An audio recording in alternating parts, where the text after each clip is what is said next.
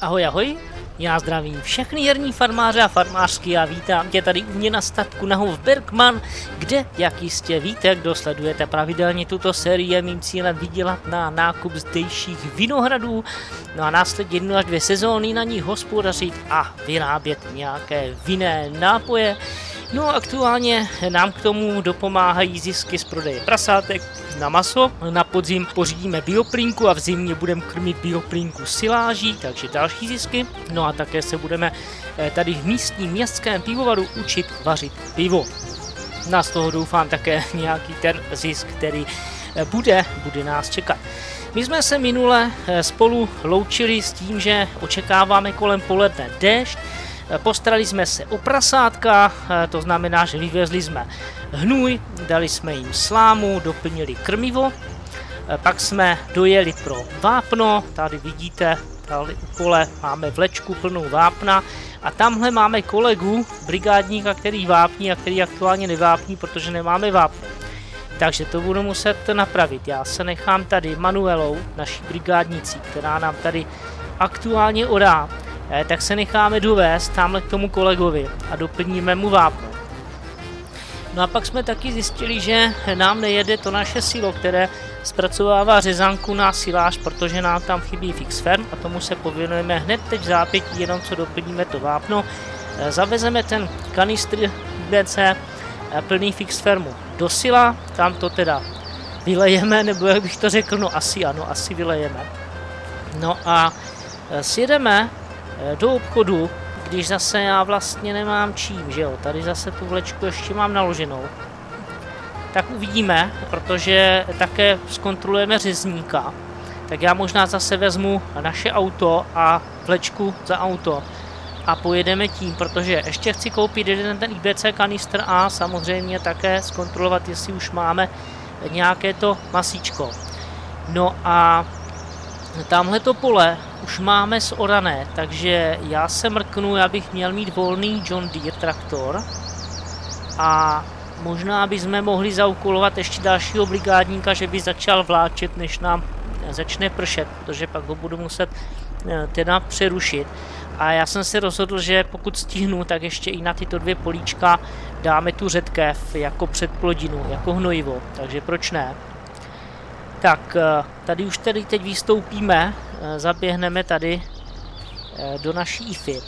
Já každopádně vám chci strašně moc poděkovat za vaši podporu pro videa tady z Hof Bergman, protože sledujete, komentujete, lajkujete.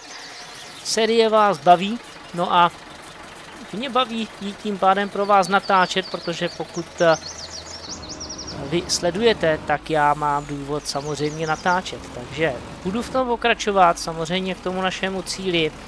Nás ještě nějaká ta sezóna čeká, ale těžko říct a odhadovat, jestli to bude sezóna 1, 2 nebo 3. To uvidíme. Každopádně teď už eh, to začne mít trošku větší spát, protože už začneme postupně vydělávat. Eh, u těch prasátek se nám to trošičku zastaví, protože já potřebuju prasátek, aby se mi další narodili, to jsme si ukazovali minule. Ale myslím si, že bioplinka nám bude vydělávat eh, celkem, celkem dost.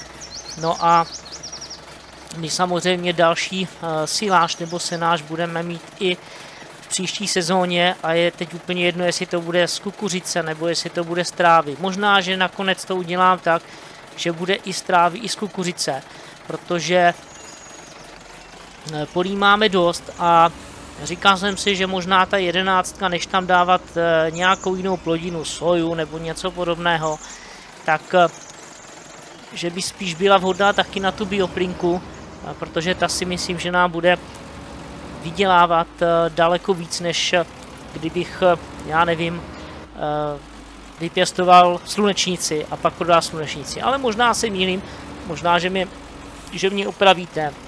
Já samozřejmě nevím, jak tady na Bergman je to nastavené, jak tady ta bioplinka je schopná vydělávat. Každopádně, co nás ještě čeká, tak samozřejmě na tu bioplinku získat nějaké finance. Takže v některým z příštích videí se určitě podíváme eh, na ty dědictví, které by jsme tady měli mít.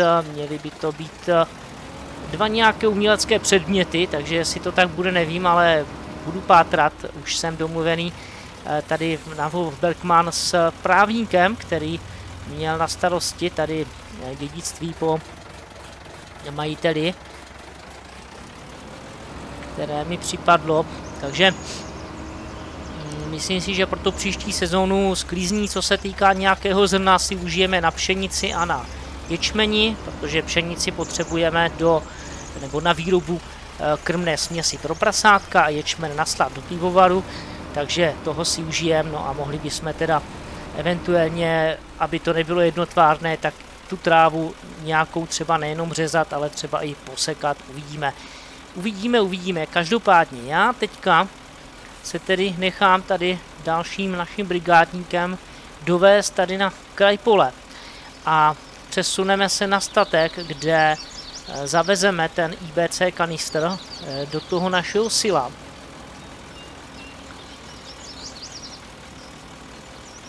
Tak, výborně. Takže tady já si vystoupím. Tak, nechám ho samozřejmě pracovat. Počkej, tak jsem tam nevěl. No, úplně do toho pole mi výjíždět nemusel, no tak doufejme, že, že to nezničí. Takže já jdu na statek a za chvíli se uvidíme. No, jdeme teda naložit uh, ten kanistr, mám to zakurtovaný, mám to zakurtovaný, dobrý, takže nastoupíme si. Jdeme to odvést do toho sila, ať se nám tam teda něco děje. No, eh, tady já to asi nevytočím, co? Jsem trošku takhle. Je, dobrý, vyšlo to. jdeme k silu. Tam to vyložíme, to už jsme si zkoušeli, takže už celkem víme teda jak. Pak se přesuneme do obchodu. A k řezníkovi. Tak, dobrý, můžem. A teď jak tam s tím najet, že? Myslím si, že s tím budu muset asi couvnout, protože no, asi nebude tady brát takhle z takovéhle vzdálenosti, no asi ne. Tak, takže zkusme tady takhle. Vypadá, že už máme dovápněno.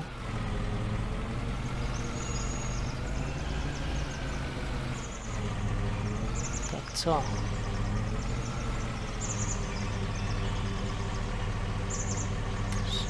Kurtovat.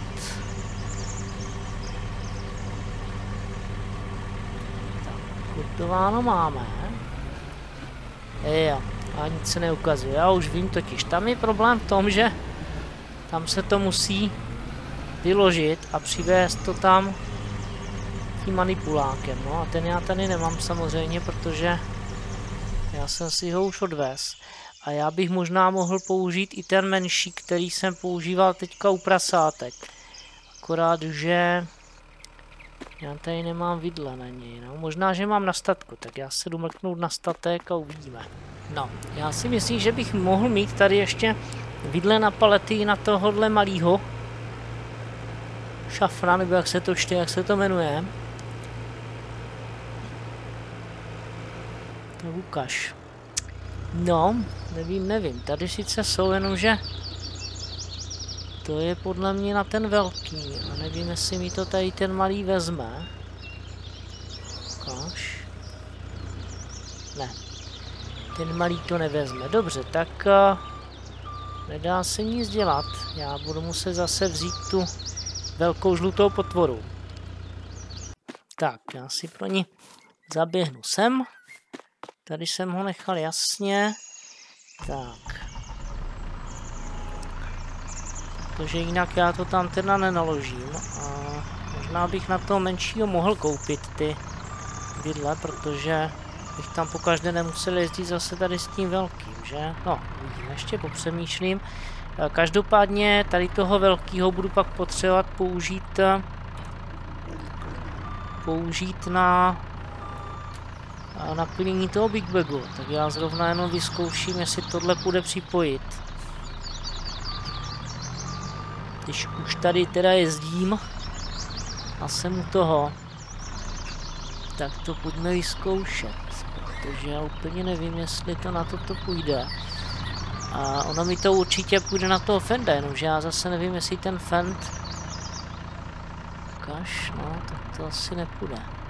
Já totiž nevím, uh, jestli ten Fend bude schopen mi dosáhnout uh, na to zařízení. No ale měl by, že jo, jak je to, je to od stejných tvůrců udělané, tak snad jo, to vyzkoušíme uh, možná už v příštím díle.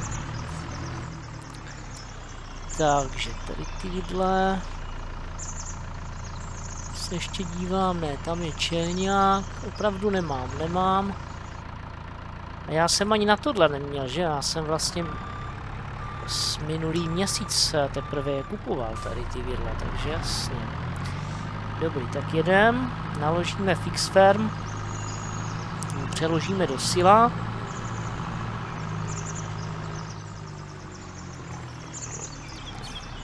Dobrý, můžeme.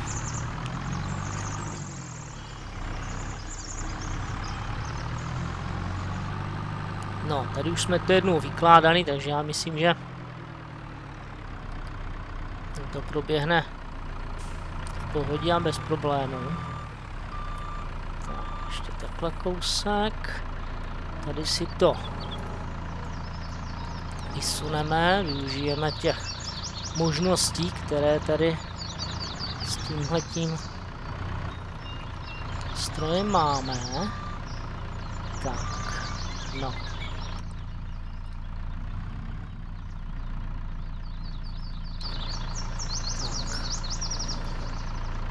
teďka se musím teda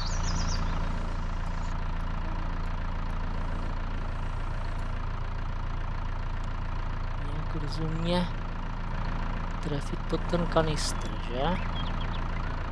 No. Jo. Už to půjde. Super. Tak, první část je hotová, teďka ta druhá část, to bude vypustit to tady do toho sila. Já ještě to udělám jinak, já si tam najedu trochu lépe. Tak.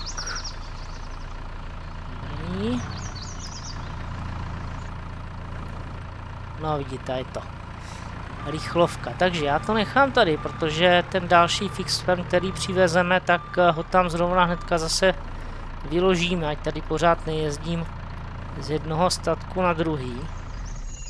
Tak, jenom se mrkneme,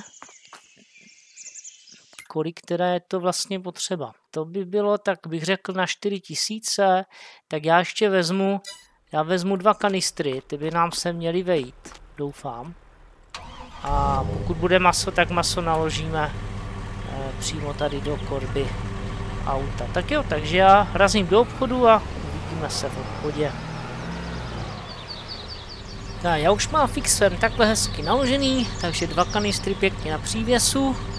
No a jedeme teď k řezníkovi, podívat se, jestli už je nějaké maso. Podle toho potom samozřejmě Fixfirm hnedka zavezu do sila. A pokud budou přepravky masa, tak eh, dáme do chladáku. Kontrolujeme, jak to jde těm našim brigádníkům, protože vidíte, máme 10.05, zhruba za dvě hodiny. Eh, má začít pršet, takže ať to stihneme ještě co nejvíc, co půjde. Pršet by mělo tak dvě hodinky, takže no, píšou do dvou, ale já předpokládám zhruba do tří, pokud teda pršet bude, samozřejmě to je otázka. Nemusí být, že? Tak, tady máme řezníka. Já tady ještě pustím souseda. No ale jeď. No tohle má vždycky nejradši, no, když oni se zastaví. No a teď tam ještě bude druhý, no, tak to je paráda. No. Tak jako...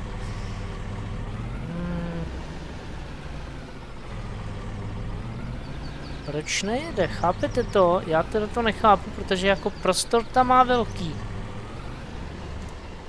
Tak už jeď. No, ty už taky, no ještě třetí se tam objevil. No hurá, tak super. Honem rychle jedem, než nám tam zas někdo věde. Tak, no vidíte, já tam vidím, já tam vidím bedny, podívejte, co jich tam je, takže super, tak mám co nakládat teda v každém případě. Já to nechám nějak takhle, protože budeme nakládat na korbu auta. Klasy přeskočíme. Servus. Servus, tak už nám to připravili, jo? No nádhera. Haha, kdyby to šlo tak jako chytit uh, najednou, že jo, celý ten komín, no. Jenomže to asi nepůjde, no. Kaš. O, počkejte, počkejte, já na to přišel, já na to přišel, akorát, že... Mhm. Ne, tak už ne. Škoda, no, nejde to. E, budu to tam muset naházet takhle po jednom, ale to vůbec nevadí, to tam takhle prostě po jednom naházíme. Ono stejně já potom, když to vykládám eh, do toho našeho chladáku nebo mrazáku, nebo co to je, tak to tam taky stejně pak musím eh, halabala naházet, respektive otočit to dnem vzhůru, aby, aby mě to prostě eh, fungovalo, aby se mi to dalo do těch, do těch regálků, co tam jsou. Takže když to teďka takhle trošku tady naházím, tak já si myslím, že se věc nic neděje. Spíš je otázka toho, kolik nám tam toho vejde. Já budu možná muset ještě jet jednou. Na druhou stranu eh, trošku na delší dobu jsou to teďka poslední, poslední masa. Jak jsme si ukazovali minule, tak eh, já budu potřebovat, možná takhle potřebí to šlo, tak já budu potřebovat teďka počkat, až no nešlo. No to spadne. Tak já budu potřebovat teďka, aby mi eh, naopak se nějaké prasátka narodily a teprve poté budeme zase využívat tady služeb místního ryzníka. A já myslím, že to tam vejde, že bych to tam měl dát celé. Až. No, asi jo, to tam asi vejde. No budu to chovat brát po jednom, nedá se nic dělat. Tady tohle asi nejde pou... Počkejte, ono to jde použít. Možná, že... Možná, že my bychom to mohli nakládat přímo celou paletu, no.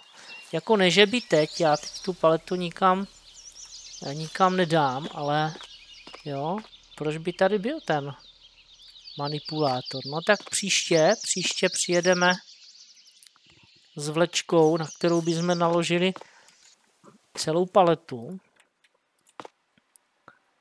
No jak bude mít těch prasátek víc a bude toho samozřejmě víc, tak uh, ono to bude potřeba, poněvadž uh, no, mě to tam spadlo, protože tímhle tím způsobem nakládat, když uh, tady budeme vozit jednu vlečku prasátek za druhou, to by asi úplně neklaplo, no, to bych nedělal nic jiného, že?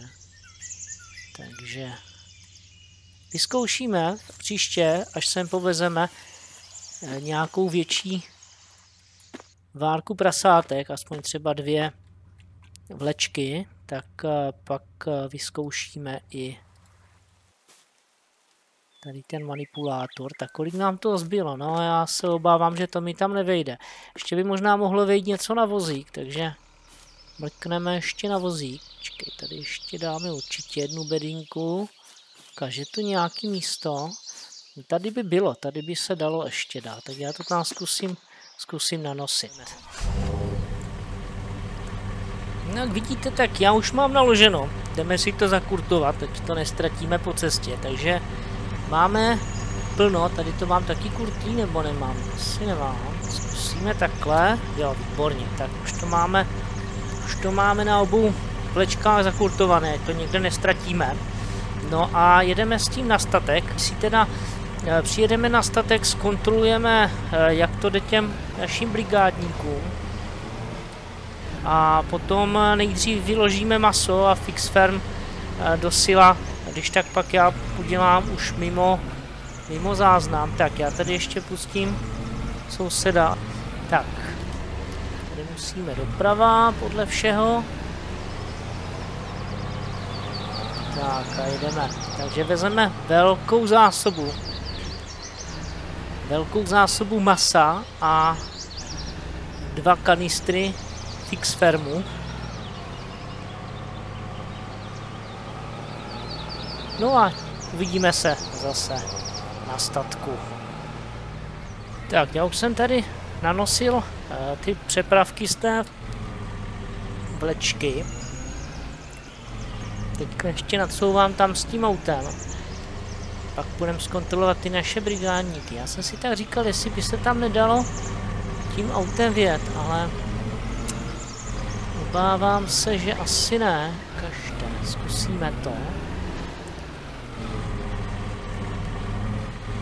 No, přátelé, to by nám ušetřilo čas. Samozřejmě reálně nevím, které si by se do, do chladáku jezdilo autem, to asi ne. Ale nám by to určitě pomohlo. No, bude to těsný, ale vypadá, že to půjde. Tak počkejte, já to odkurtuju.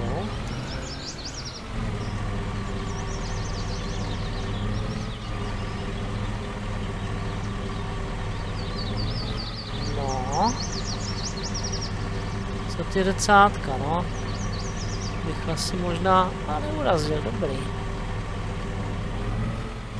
No a teď jsem zvědavý, jestli to teda půjde. Hoho, jde to přátelé, tak super. a dokonce máme plný regálky, tak to jsem ani nečekal, že budeme mít až tak plno. Tak, uděláme to teda jednoduše, no já si to tady hodím nějak manuálně. Mám, že se to tam zase nebanglo. Tak pojď. Já si jsem...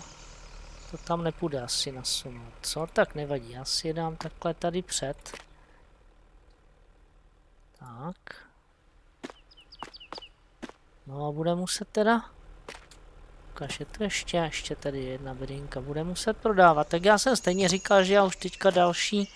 Hop, Eh, další čuníky k řezníkovi vozit nebudu. To znamená, že eh, teďka mě to úplně, úplně netrápí, že už teda nemám kam dát ty další bedny. Je. Tak úplně nevím, proč to teďka lítá, ale nevadí. Tak, zkusím to nějak ještě tady Dejme tomu takhle, super. Tak jo, takže já to nechám tady, jak to je. To znamená, že tyhle ty další štelářky jsou potom na vejce, na salát, na máslo, na sír. Dobře. Je pravda, že máme tady výběh pro slepice, ehm, kravičky potom taky budeme řešit, takže budeme vyrábět i sír, to všechno bude. Ale eh, aktuálně teda, eh, ne teď, to už by Eh, toho zase bylo moc, takže na to se může mrknout jindy. Ono ty slepičky by mi tak ani nevadilo, že jo? Kdyby toho nebylo vždycky tolik těch vajíček, že člověk u toho stráví hodiny, než to naloží. Já se potřebuji podívat, jak jsou tady na tom naši brigádníci. Tak, tenhle ten oře, tenhle dělá, co má, to je paráda. No a vypadá to, přátelé, že je to dovápněno. Už jenom tady ten výběžek, ten já bych zavápnil. Oj, ten tady teda způsobil dobrou kolonu, podívejte na to. Až za zatáčku. No, z nějakých mě nepochopitelných důvodů to odstavil tady na cestě a vytvořil takovouhle kolonu. Nevím teda, co ho k tomu vedlo. Tak každopádně uvolníme provoz, budeme dovápnit ten zbytek. A začneme s tím vláčením. Kolik máme? 11 za hodinu. Zhruba má začít pršet, takže to ještě zvládneme. Něco do deště udělat. Tak, počkejte, tak radši zpomalíme.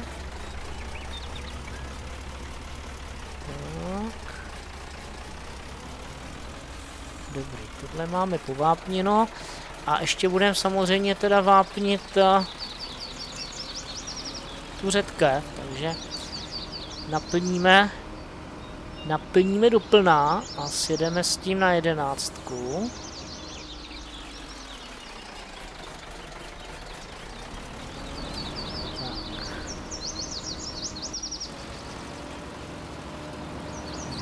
To bychom měli. Tak, vápno tam ještě je, ale já budu muset samozřejmě vápno ještě dovést, protože jedenáctka je hodně velké pole, takže tam určitě nebude stačit to, co máme tady. Ale to nevadí, ještě dovezeme. A zatímco se bude plnit, tak já zkontroluji, jestli opravdu ta jedenáctka potřebuje to vápno, ale já, co si pamatuju, tak ano, tak to psalo, že to chce vápno. Tak. Ano, potřebuje vápno. Tak já to ještě zavápním. Tak, co ty, už máš naplněno? No. Kolik tady ještě zbylo v tom Big? Vápno. 621 litrů, no. Nevadí, tak já s tím potom ještě dojedu k tomu poli, než pojedu do obchodu. E, tak... E,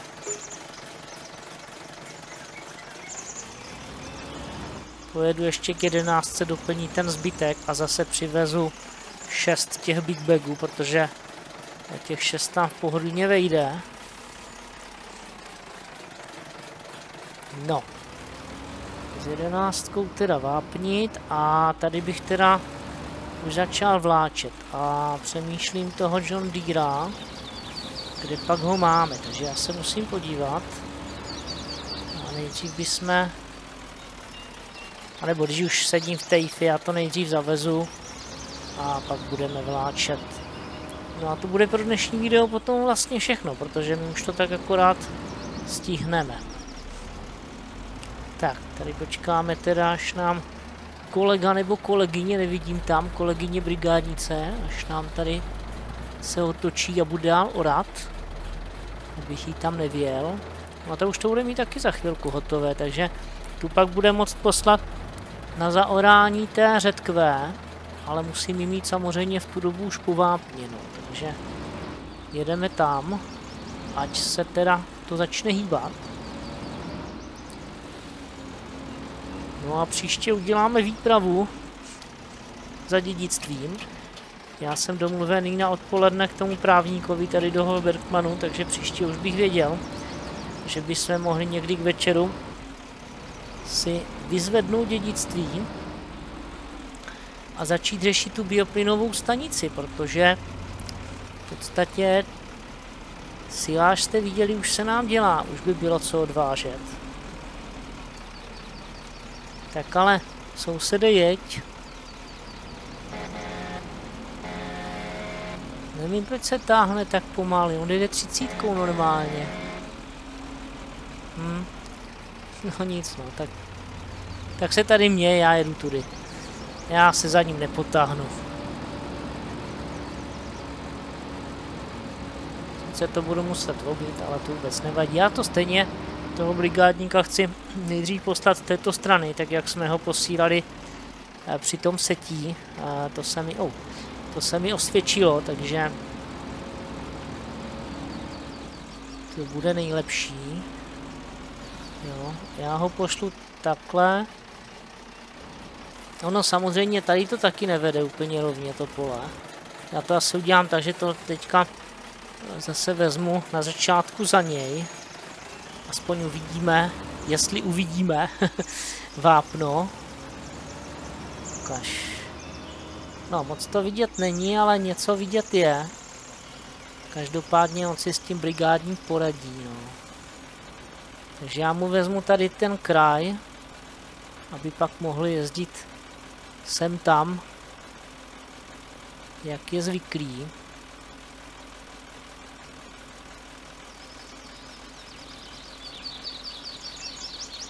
No a ještě teda zařídíme to vláčení.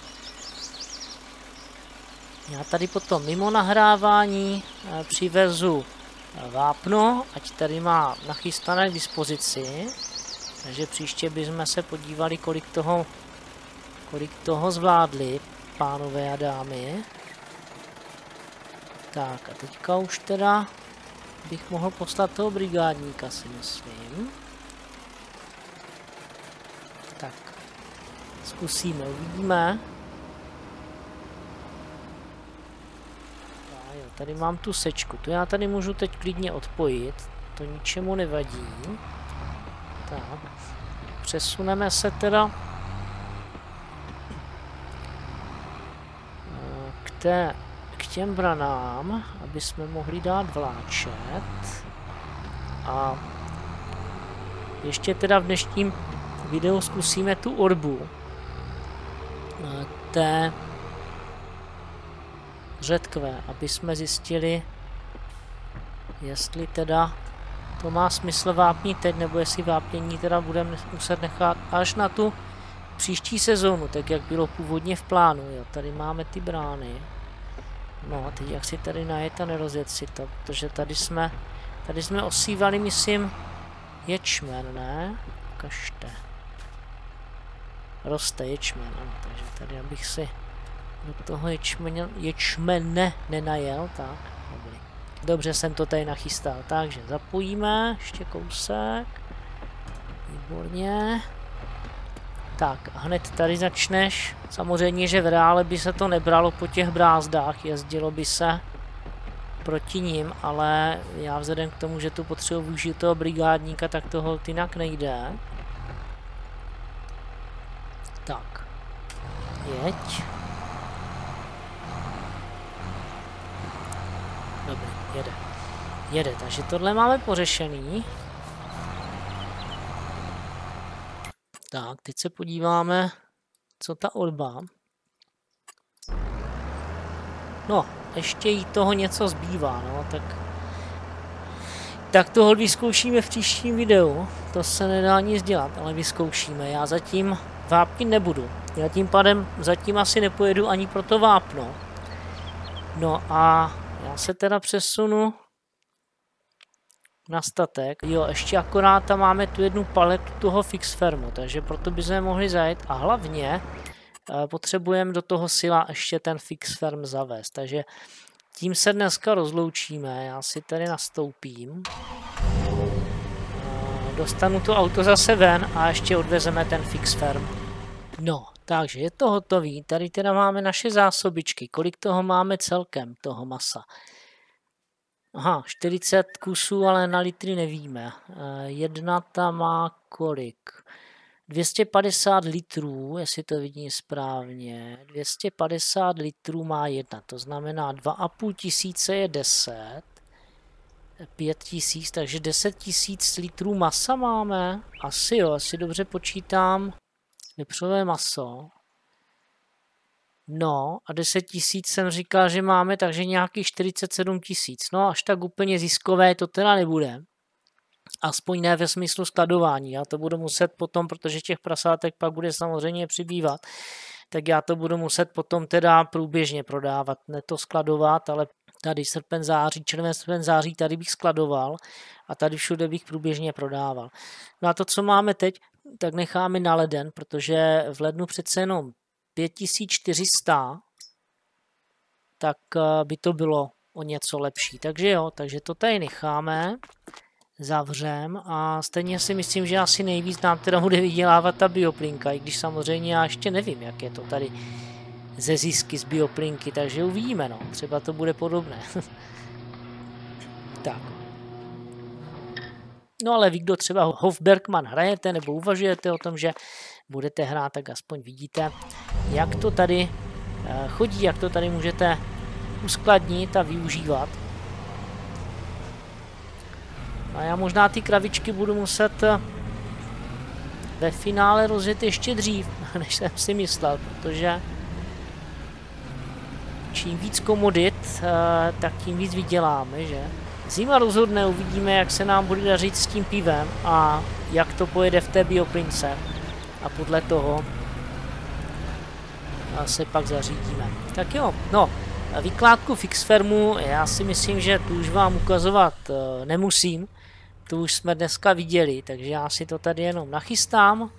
No a pohledem teda na ty dva kanistry, které já tady naláduju do toho sila, zřejmě na začátku příštího videa, abyste teda nepřišli o nic. Tímhletím pohledem se s vámi rozloučím, já vám děkuji moc, že jste tady opět se mnou byli, že jste zhlédli video, budu rád samozřejmě za vaše lajky, komentáře, kdo nemáte, tak dejte odběr, ať nic nezmeškáte a já se budu těšit u příštího videa tady zase z Hofbergman. Ahoj.